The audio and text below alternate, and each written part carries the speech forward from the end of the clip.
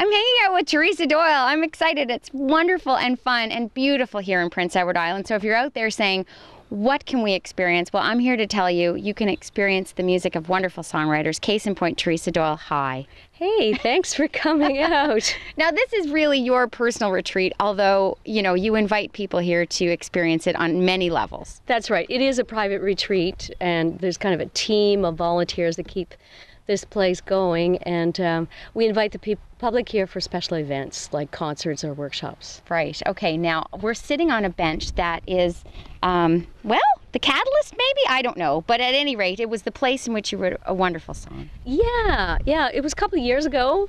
It was a spectacular April day, and I had all these things I was supposed to do, but this the sun came out, and I made a thermos a tea. Right. And I came up here to the shore, and I sat right here you know, I did yeah. some work and uh, then I had my thermos of tea, and this song fell out before the tea got cold. You know, nice. yes. the way it's supposed to be. Magic. Yeah. Okay, and so it's uh, You're My Cup of Tea. And before you sing it, yeah. you wrote it for somebody. I wrote it for my hubby. Okay. Yeah.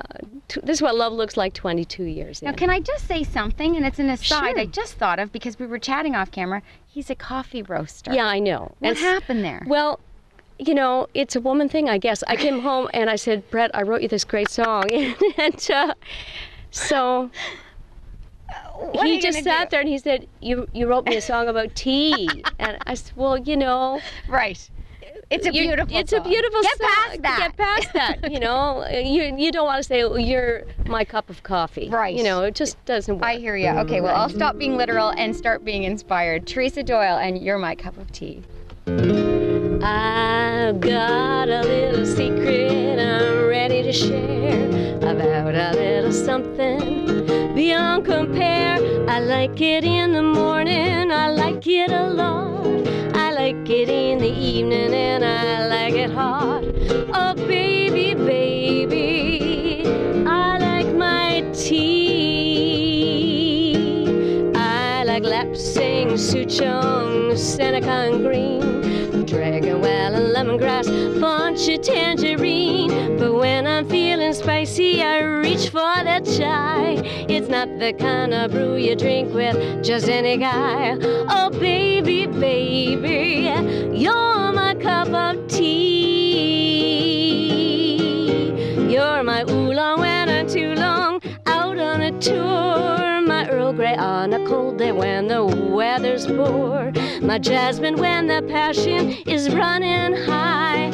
Chilling when I'm feeling a little bit shy. Now I can tell you coffee's a marvelous drink. And when I'm drinking coffee, it helps me think. But thinking's overrated, I've got to say. I'd rather share a pot of tea any day. Oh, baby, baby, tea. Oh, baby, baby, you're my cup of tea.